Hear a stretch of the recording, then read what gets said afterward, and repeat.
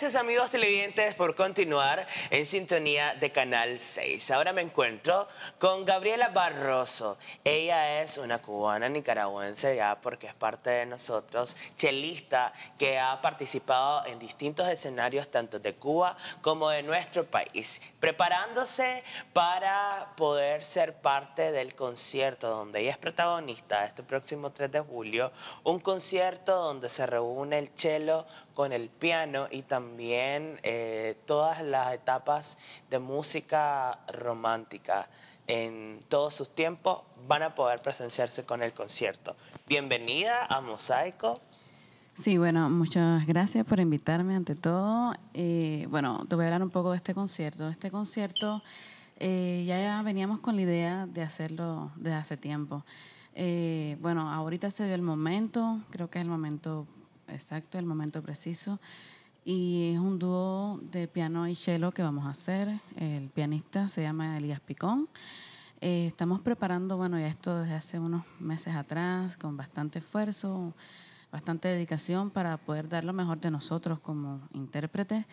Eh, vamos a tocar obras de diferentes estilos, como el estilo barroco, el estilo romántico. Eh, va a ser bastante llamativo para el público, pienso yo, porque son melodías muy románticas. Eh, bueno, por eso el nombre, el, el concepto de este concierto, Melodías en Sueño, porque son melodías totalmente para soñar, que te dejan enajenadas en el tiempo. Enamorados. Enamorados. sí, muy románticas, muy apasionadas. Entonces, bueno, estamos preparando, ya estamos en los últimos preparativos como el pianista y yo, eh, ya en esto para el concierto. Esto será el 3 de julio para que ustedes ya pongan en su agenda 3 de julio en el Centro Cultural Pablo Antonio Cuadra. Me gustaría que me comentara un poco quién es Gabriela Barroso en nuestro país y también por qué, este, cuál fue tu motivo de, viajar desde Cuba a, Nicaragua y hacer este intercambio entre culturas. Bueno, eh, yo me vine hace seis años a este país del cual estoy muy agradecida porque me ha abierto muchas puertas en mi ambiente profesional. Me vine a través de un convenio que tiene el Conservatorio de Música de Lupoli con el Consejo de Iglesias Ecuménicos de Cuba, al cual yo pertenezco. Entonces, bueno, por esa vía me vine realmente pensé, bueno, voy a probar suerte aquí. También sabía que había un déficit de, de este instrumento de violonchelo, todavía no había no han formado, no se ha formado todavía la, la cátedra de violonchelo en sí. Eh, ese es mi trabajo, aquí impartir clases en el Conservatorio de Música y yo estoy formando a los jóvenes talentos que, hay, que tiene este país que están estudiando la carrera de violonchelo conmigo.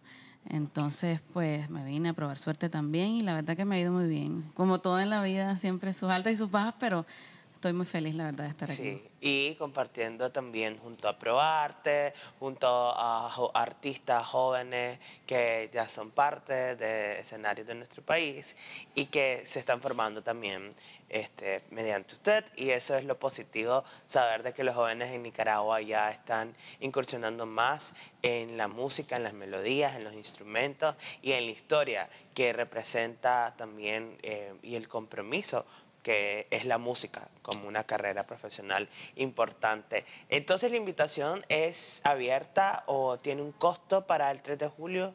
Sí, tiene un costo de 150 Córdoba. La entrada es el 3 de julio a las 7 de la noche en la sala Palantino Cuadra en Espamer. Ok, 3 de julio, 7 de la noche, 150 Córdobas.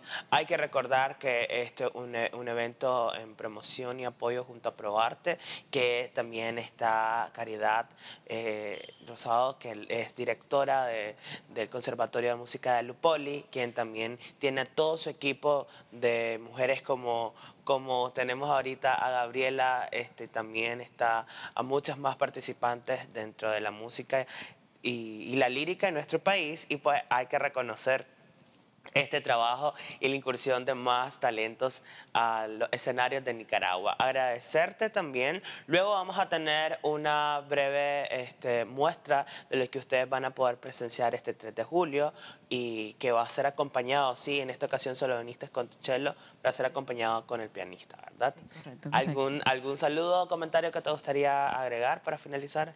Bueno, eh, agradecida con la asociación por darme esta oportunidad y espero que no sea la primera ni la última, espero que haya muchas oportunidades más para poder transmitir mi talento con todo mi corazón para todo el público nicaragüense y eh, internacional. Y el público cubano también que está en Nicaragua. Los espera eh, Gabriela Barroso, Gabriela Barroso, este 3 de julio a las 7 de la noche a toda la comunidad cubana nicaragüense, también desde el Centro Cultural Pablo Antonio Cuadra, en su auditorio. Tienen un límite hasta de 200, 300 personas en este auditorio para que ustedes ya tengan su boleto en mano. Nosotros hacemos una breve pausa, pero ya regresamos con más información aquí en Mosaico.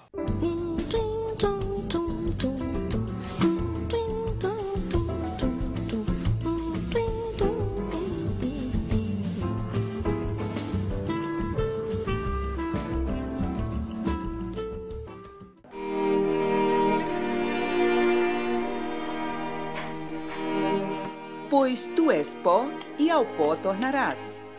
Uma frase bíblica que pode ser aplicada ao trabalho do artista plástico Roberto Vieira. Em vez de representar a terra, eu comecei a mexer com a própria. No meio das montanhas, em seu ateliê em Alagoa, pequena cidade do interior de Minas Gerais, o artista escava para criar. Um trabalho atual que estou fazendo, de uns 5, 6, 7, 10 anos para cá, é, com, com, voltando com os objetos para o barranco, revestidos com terra, é, é uma questão assim de estaca zero, sabe? grau zero da questão. A gente tem que procurar nos, nos barrancos por aqui, é onde tem a terra das cores que a gente pode usar. Né? Vermelho, amarelo, branco e preto, que é o mais usado. Arquiteto de formação e com passagem pela música erudita como violinista, Roberto Vieira se dedica a levar objetos do cotidiano a uma outra dimensão.